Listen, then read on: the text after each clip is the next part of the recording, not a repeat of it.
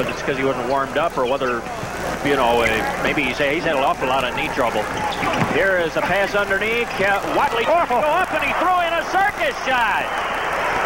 In heavy traffic, he just gypsy doodled it up there, and he has six.